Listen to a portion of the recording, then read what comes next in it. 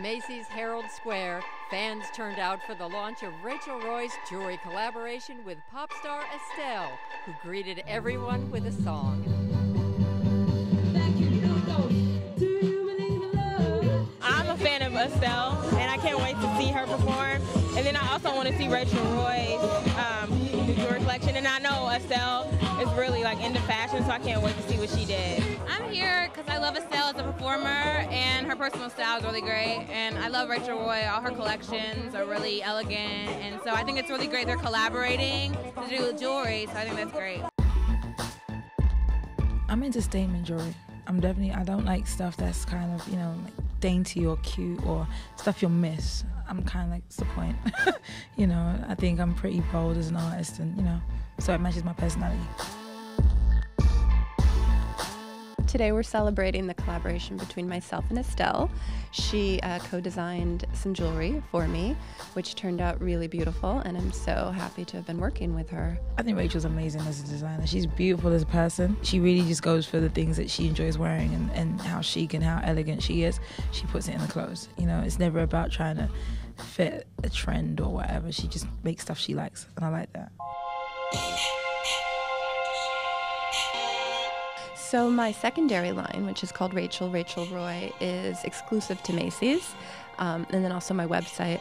But it just made perfect sense because the price points are affordable, and a lot of Estelle's uh, fans shop here anyway. And so a performance here just made sense as a celebration of the launch of her collection.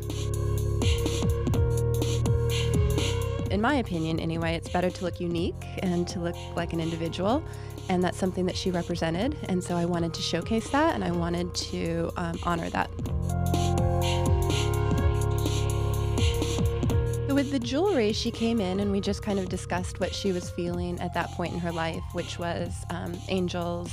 And um, she, she had a phrase that she said, I feel famous.